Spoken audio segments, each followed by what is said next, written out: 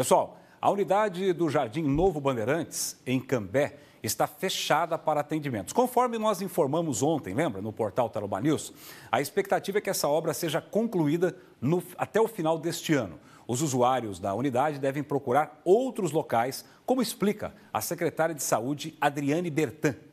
Nós estamos aqui na unidade básica de saúde do Jardim Novo Bandeirantes em Cambé. É, essa semana essa unidade estará fechada porque essa unidade vai passar por uma grande reestruturação. Ela vai ter uma área que vai ser reformada e vai ter uma outra área que vai ser é, construída. O porquê disso?